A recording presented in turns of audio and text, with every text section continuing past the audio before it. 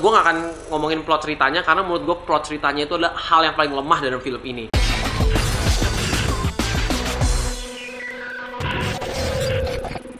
Oke teman-teman, kembali lagi Play Stop Rewards. Kali ini gue akan nge-review dari filmnya The Night Come For Us. Salah satu film Indonesia pertama yang original Netflix. Kalau film Indonesia yang lainnya udah Netflix itu cuma republish ulang setelah di bioskop. The Night Come For Us ini sebenarnya film action yang dari dulu jauh-jauh dulu setelah The Raid The Raid 2 itu mau dibikin cuma sempet apa ya tertunda karena ada headshot filmnya dari Timo Brother juga.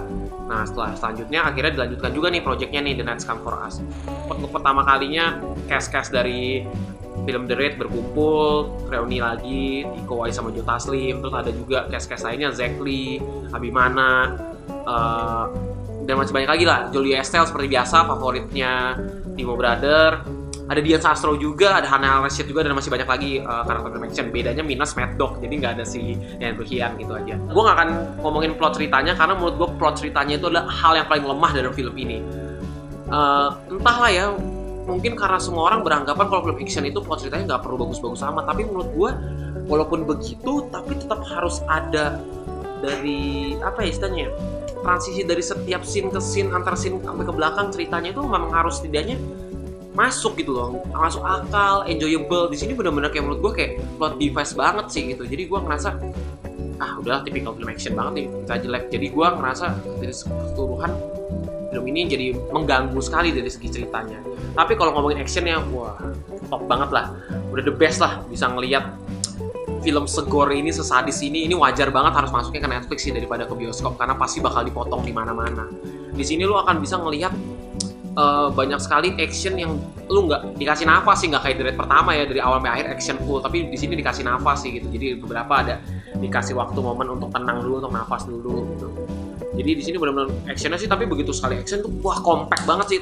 Benar-benar padat banget terus yang pas bagian action di mana teman-temannya dari si Joe Taslim itu yang diserang di rumahnya itu itu benar-benar compact banget sih. Itu benar-benar paling keren. Itu menurut gua scene paling terkeren terkeren di film ini.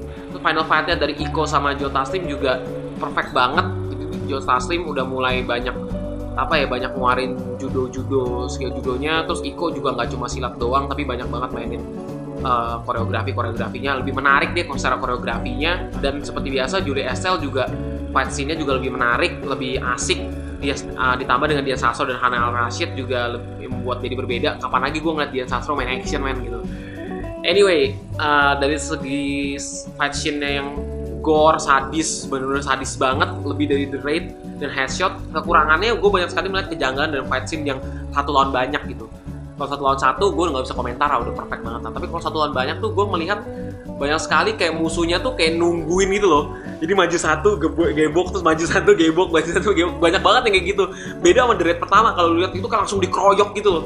Jadi benar-benar real gitu. Kalau di sini benar-benar kayak nungguin maju satu maju jadi kayak koreografi menurut gue kurang banget sih. Sepertinya film ini akan ada potensial sequel ya. Setahu gue katanya mau dijadi trilogi karena masih banyak hal yang belum diceritain dan plot hole-nya juga menurut gue agak sedikit mengganggu terutama di bagian Julia Estelle kenapa tiba-tiba nggak jadi mau ngebunuh gue kayak alasannya kurang kuat aja motivasinya.